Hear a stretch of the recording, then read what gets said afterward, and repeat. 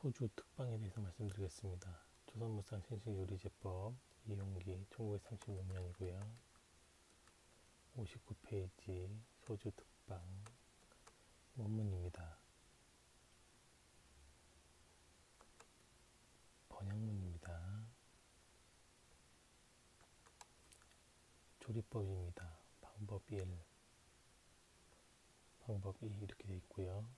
1번 맵쌀과 찹쌀을 물에 담갔다가 가루를 낸다. 2. 고운 누룩가루와 끓는 물을 함께 섞는다. 3. 넣은 지 사흘 만에 찹쌀을 밥줘서 씻거든 전에 만든 밑과 합하여 덮은 지 7일 만에 혼다. 4. 물을 12번만 바꿔주면 맛이 평평하고 순하며 8, 9번을 바꿔준 맛이 극히 맹렬해진다. 방법 2입니다. 1.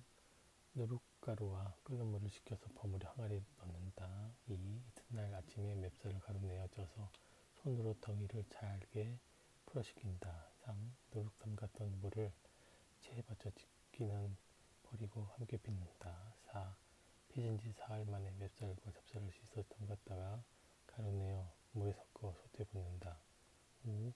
살을 한번 끓여내어 식히고 끓여 식혀서 누룩가루와 전에 만든 쌀가루 물을 모두 다 섞어 고르게 한다. 6.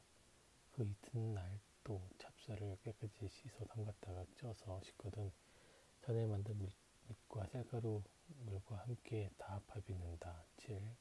빚은 지 5일 만에 이에 익으니 이를 걸러서 찢기는 버리고 고아서 15복자를 내리면 맛이 맹렬하고 20복자를 내리면 묽어진다. 이렇게 나와 있습니다. 항아리와 채가 필요합니다.